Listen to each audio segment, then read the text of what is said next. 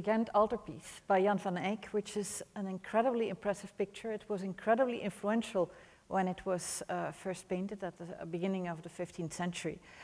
Uh, if you ever get to Ghent in Belgium, you should go see it. It's a polyptych, and when you close it, you see on the middle, uh, on the right-hand side, this scene of the Annunciation, where behind the Virgin Mary, there's a book a book that you see here. Well, there's not a book, there's a painting of a book. We're talking about an area of the painting that's about three inches high. And uh, art historians were wondering whether uh, Van Eyck, who is known to be a great um, uh, perfectionist, had pushed his perfectionism so far as to actually really paint a text. I mean, a real text, rather than the little vertical and horizontal marks that might give that illusion. Uh, we have, oh, there the slide is. Okay, so uh, if you show me a book like that in a, uh, uh, a, museum, I can't read it because these medieval, medieval lettering, the litera formata, are very hard to read for non-specialists. But specialists couldn't read it on this painting either. And that's because you see all these cracks. The craquelure on this painting that's over 600 years old uh, makes it very hard to distinguish where you have real letters, which are worn a bit, and where the cracks. And so most art historians said, well, it's not a real text, come on.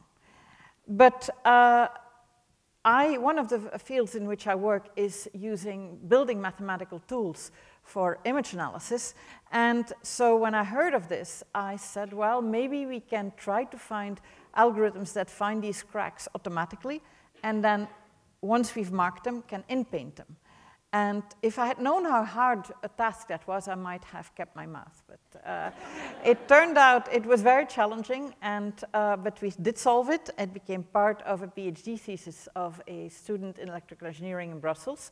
And together with researchers at Ghent, we published a paper in which this solution was uh, published. And we went from the craquelure on, on, on the right here to the text on the, on, uh, on the left to the text on the right. And well, when I first saw the results, I said, well, fat lot of good that has done to us. I mean, I couldn't, I couldn't read anything. But specialists said, oh my God, look at this. And they could very clearly recognize 12 groups of words which not only established beyond a doubt that Van Eyck really had painted the text, but they found that, in fact, they could identify what text. It was a page of a manuscript that had been copied a few decades earlier in Bruges, and that was a text by Thomas of Aquinas on the Annunciation in an Annunciation painting scene. So they were absolutely delighted, and uh, there was, uh, this, was, was uh, this made a very nice article in Art History. Um, I wanted to start my uh, story today with that to tell you that even prior to my main uh, topic today, we had learned how to recognize and find and in-paint cracks in paintings. So my story is about an art exhibit that is going on right now in the North Carolina Museum of Art in Raleigh. Uh, if you haven't seen it yet, I recommend it highly. Its last day is tomorrow, so you don't have a lot of time. So this was really something in which uh, we sailed uncharted waters. And let me show you how. So it all started because uh, uh, uh, an altarpiece that uh, dates back to the 14th century uh, from a small church in the Marche region in Italy had been broken up at, in the early 20th century and sold to collectors. Three of those panels are in the North Carolina Museum of Art collection. One is in Portland, three are in the Metropolitan Museum of Art, one is in Chicago, and the very last one, well, the very last one is missing. Uh, art uh, uh, conservators, after they realized, our curators, that these panels belong to the same altarpiece, have looked everywhere, but they haven't found this panel. They had this dream of bringing all the panels together uh, here in North Carolina. The other museum said, yes, yes, but you won't still have it complete. And uh, I, fortunately, I, I, happen to know a very gifted artist, but also an art conservator, an art reconstruction expert, uh, Charlotte Caspers, who they then commissioned to paint uh, a reconstruction of this missing painting. She does this mostly for museums, for educational purposes. Here's an example of something she made for a museum in Rotterdam. So it's a little bit, a portion of a painting they have that she reconstructed. And for this educational piece, she stopped a quarter inch short with every layer of preparation. And so you see, she's already four months into working on this panel before she even starts painting, all the different layers of sizing and of gesso and uh, drawing and gilding and so on. Um, so they commissioned a, a, panel for her for this missing uh, uh, painting. And uh, well, you could ask yourself, how do I do that on a painting? I mean, I don't have the panel. How do I reconstruct? Well, the seven panels, the seven small panels that existed, reconstructed the followed episodes, mark uh, important episodes of the life of uh, John the Evangelist, as it was described literally in this medieval bestseller, The Golden Legend, Uh, uh, uh, in which lives of saints are recounted. And we know it's a bestseller because of many medieval books we have only maybe part of a copy or something, and this of, of this we have hundreds. So uh, everybody wanted one.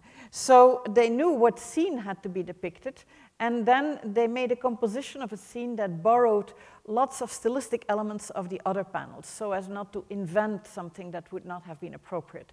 Now, if they ever find a ninth panel, it's not going to look identical to this, but it's highly likely in this style. And then uh, here you see the build-up of the panel, just like you saw the layers on, on, on the, you see it being uh, gilded and polished, and then paint is going to come in uh, if, if my clicker keeps working, uh, and uh, the, the verdaccio on the faces, uh, the different paint layers, and as they get modeled more, and the final result is absolutely fantastic. And you can see that final new panel with a documentary uh, of how the panel was made at the museum. And uh, you see differences. I mean, on old panels where you have these punch marks that have been uh, knocked into the gilding, they have, over all the, the, 600 years since the painting was made, been filled with, they've, they've, gradually filled with dirt and they now show like a dark relief. But originally on these polished, on this polished gold, they gave you the reflections and so on. And with the candles in the church, they would have given you a, a sparkling halo around the head of the saint. So you can all see that on the, the new panel. And so people, the, the, curators and the conservators were so happy with this whole experience and how educational it would be and there's this glorious new painting. But then they realized that they couldn't put it next to the other panels because everybody would have eyes only for this new one, this new bright, shiny one. And it would be the only one that was not authentic. So uh, I then said, well, I always say that math can help. Uh, because what we could do is we could study the uh, uh panels and the old panels and the new panels. And we could, on the one hand, find a correspondence of color between the two different types of panels and change color. We could use that to virtually age the new painting. And in fact, when you go to the museum, you see this virtually aged one, a printout of that exposed next to the other panels. But we could also, if we learned all about that, we could rejuvenate the old panels. And that's what we did. So the craquelure, well, you've seen, we can find craquelure and we can paint it in. So we did that. Here you see how we do indeed find the, all the red markings is the automatically found cracks. And we, uh, uh, once we did that, we can in paint. You see an example here. We did that very gradually with an iterative algorithm that you see here gradually progressing. It was very important to us to not produce just a chromo I mean, we wanted to use scholarly, uh, grounded methods in order to make this transition. So we never took it to places where you didn't have evidence for how it should have been. And if we didn't do a perfect job, well, so be it. I mean, uh, but uh, we, we, didn't, we didn't impose our vision. So here you have the background of one of those paintings and then the cracks removed. Then we could color remap. So here you have the eighth authentic panel, the old panel, and the background of the ninth new panel. And because the compositions were borrowed from each other, we knew exactly uh, uh, how the pigments that were new now looked after all their aging, and we could use that in order to do color remapping for these paintings. So we, here you see the color remapping for the old uh, 14th century painting on the left and remapped to new colors on the right. Here you see the next one, uh, the new one on the right, color remapped to the old version on the left. And then, of course, to make a, vir a virtual aged version, we had to put in cracks, and then we had to add the gold, and that is now what is in, in, in, in the museum. And I hope some of you get a chance to see it tomorrow. It's not expensive by Uber to get to North to, to, to, to NCMA. Um, so it's absolutely gorgeous to see all those paintings together. Um, you, uh, uh, so this whole uh, uh, effort of the rejuvenation and the aging was done with the Bass Connections group, with undergraduates here at Duke, uh, and we had a ball. And uh, of course, we had a lot of help also from Charlotte Caspers, who gave us advice on the colors. Uh, but you see, the reconstruction of that ninth panel was uncharted waters for the art conservators and art curators. They had never done something like that, and they really enjoyed the experience. And then the whole remapping and, and crack uh, removal and so on was uh, an, an, exhilarating experience also. Uh, for us, it was no longer a research project because we had learned to do that research earlier on the altarpiece of Ghent. But it turned out there were uncharted waters for the mathematicians as well because uh, we came up to a new un, un, un, uh, problem. We got to work with Platypus. Platypus uh, is a software package that we put together and that saw uh, uh, that, that, came, uh, uh, that came to life because of, of the Ghissi panel. Because in preparing for the work on the Ghissi panel, I asked to see the X-rays. And when they showed me the X-rays, here you see an, a detail and the X-ray, I said, what's this nonsense? It looks like it's behind prison bars. I mean, isn't that annoying to you? And the conservator said, Noelle Ocon said, yes it is annoying. And it's the cradle. I said, the cradle? Well, cradling is something that you see on many uh, paintings on wood panel. Here you see a detail of the altarpiece of Ghent. It's also cradled. And the cradling uh, is a hardwood structure of uh, a lattice structure that's attached to the back of these panels. These panels were originally about an inch thick, and they would kind of work and warp with temperature changes. And when collectors bought them from the churches, they preferred something that was flatter. They also, in some cases, wanted to remove uh, uh, wood uh, uh worm damage or, or, uh, or, other damage. But in many cases, it was just to flatten it. And so they made them much thinner and then gave them structural uh, in, in integrity with this cradle. And so this cradle would be attached to the back of it with, with big uh, uh, fixed members and then sliding members. The sliding members slid probably in the first few years, and then after that, the wood had worked so much that it, they were rock fast. Um, but when you x-ray something like that, of course, all you see is cradle. I mean, and so all the subtle brushwork that you use the x-rays for, or the subtle details of conservation, are swamped out by that big difference. And so when I heard about this, I said, well, maybe math can help. So, uh, uh, and, uh, but it was a very challenging problem because not only, it wasn't so hard to find the location of those cradle members. And the first part of our algorithm does that, and it can be assisted if it's a little bit difficult by uh, actually by the, by the art conservator. But the, the, the, more interesting thing is that after you've removed that wood structure, you actually still have a lot of wood grain from that cradle sitting there, as you can see here on the right. Uh, and the, I mean, by then, uh, we, we had become heroes for the art conservators. So they said, would you, could you, could you please take the wood grain away of the cradle? But we want to keep the wood grain of the panel. I said, sure, really? And uh, I said, but maybe we can.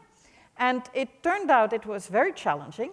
I mean, uh, uh, so here you have on, on the left a piece of a Ghissi and on the right, the, the, the, the, uh, we have removed the intensity, but the wood grain is still there. And on the left, the wood grain is gone. So how did we do that? Well, we knew, of course, where the different cradle members had been. And so we used machine learning techniques to isolate, first of all, what wood grain was, and then to find where the uh, uh, uh different uh, uh, wood grain, what the nature was of the wood grain where you only had panel or panel plus cradle and so on, and then we could remove it. And that was a part of, of, of the, the, the, graduate work of one of my graduate students. And uh, we were very proud. And so it's now used. This is for a piece of, of Van Eyck. Uh, here you see a piece of the Prado in which we actually can compare with, because that was a case where they removed the, the, the, the, the cradle structure by hand because it was causing damage to the painting. And you can see that uh, uh we are actually uh, much closer to the ground truth with Platypus the name of the software, than with uh, what, what, what people could do before. So this was done with collaboration of art conservators, art curators, and uh, students and uh, postdocs.